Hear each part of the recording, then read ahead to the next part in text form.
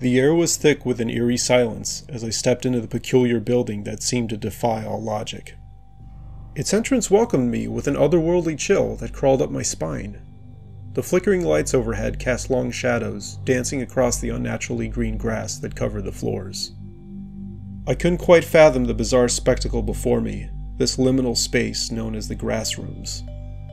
Curiosity led me further into the building, my footsteps muffled by the soft blades beneath my shoes.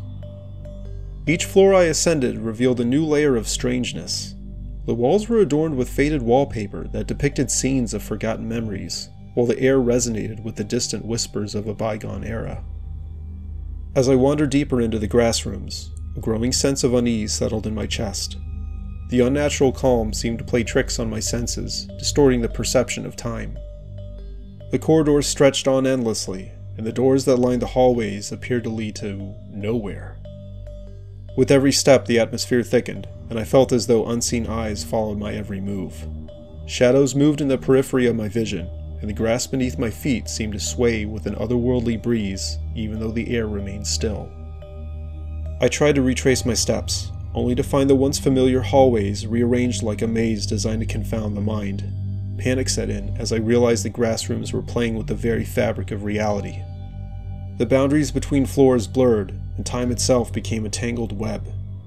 Desperation took hold as I frantically searched for an exit, but the grass rooms seemed to mock my attempts to escape. Whispers grew louder, voices from the past echoed in my ears, and the wallpaper morphed into distorted faces that seemed to watch my every move. Exhausted and disoriented, I stumbled upon a room that stood out among the others. The door creaked open to reveal a surreal garden, where twisted vines and grotesque flowers reached for the ceiling.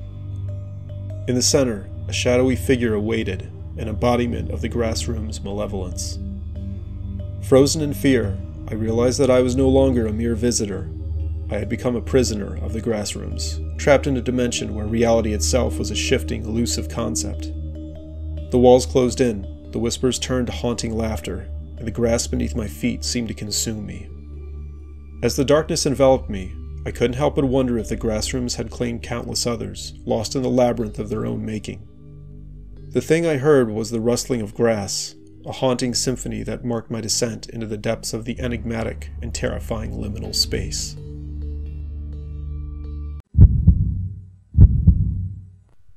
The sterile scent of antiseptic lingered in the air as I stepped out of my dentist's office, the memory of the painful drilling still fresh in my mind.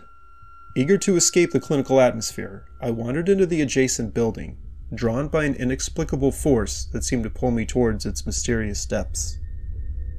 The transition from the dentist's office to the grass rooms was abrupt. The moment I crossed the threshold, the cold, white tiles beneath my feet transformed into a lush carpet of green grass.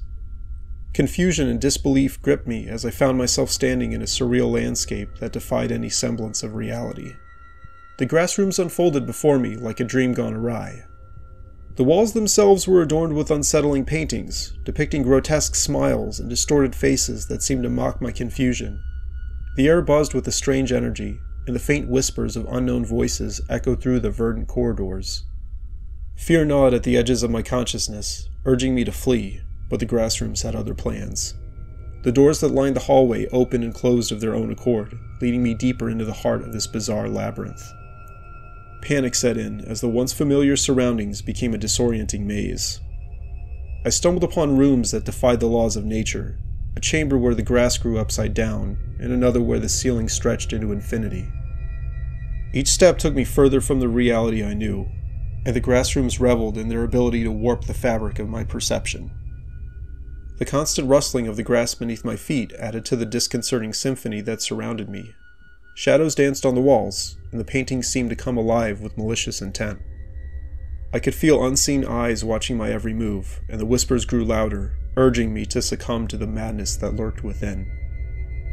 In a moment of desperation, I found myself in a room bathed in an unnatural, ethereal light. The grass glowed with an otherworldly luminescence, revealing twisted figures that slithered beneath the surface. As I tried to escape, the grass entwined around my ankles like serpentine tendrils, pulling me towards the heart of the grass rooms. The realization struck me that I had become entangled in a nightmare spawned from the depths of my own subconscious, the grass rooms were not just a physical space. No, they were a manifestation of fears and anxieties, a place where the boundaries between reality and nightmare blurred into an indistinguishable haze. As the grass tightened its grip, I surrendered to the inevitable. The dentist's office, a distant memory, felt like a world away. I became one with the grass rooms, a captive of the surreal and nightmarish realm that had claimed me as its own. The last thing I heard was the haunting laughter of unseen entities as the grass consumed me, leaving only an empty echo in the bizarre corridors of the ever shifting liminal space.